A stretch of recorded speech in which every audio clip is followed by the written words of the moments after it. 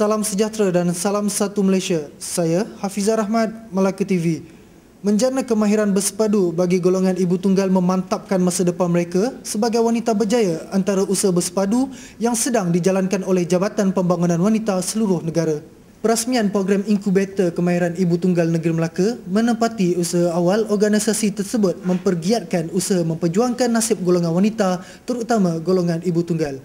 Menurut Encik Azman Mamat, Program itu bertujuan mendedahkan golongan ibu tunggal kepada ilmu keusahawanan di samping memotivasikan mereka agar sentiasa bersemangat memajukan diri mereka. Uh, khusus uh, di Melaka ini saya dibangkan ada khusus jahitan dan uh, masakan. Separuh masakan, separuh jahitan. Eh, betul kan? Uh, uh, di negeri-negeri lain uh, tidak semestinya khusus ini ya, bergantung kepada keperluan penduduk wanita-wanita di tempat. Contohnya di Kelantan adalah peruncitan di minyak peruncit ya. Uh, so wanita-wanita Kelantan dikenali ya, telah berjaya dalam bidang peruncitan dan perniagaan di pasar-pasar. Okey, saya harap Melaka akan menjadi lebih hebat lagi selepas ini ya.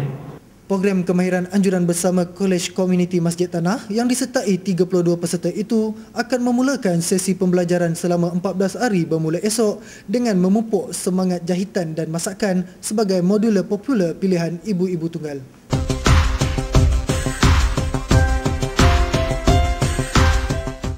Berita selanjutnya, Seorang pesakit kencing manis Norma Yahya Jahil, 56 tahun yang tinggal di kampung Sungai Putat, merasa sebab dan terharu apabila menerima kunjungan daripada pihak poliklinik Aikro di rumahnya. Akibat dari penyakit yang dihadapinya, beliau menghadapi masalah pergerakan dan tidak boleh berjalan. Penyakitnya mula serius sejak tahun lepas hingga terpaksa menjalani sebanyak tiga kali pembedahan di kedua-dua belah kakinya.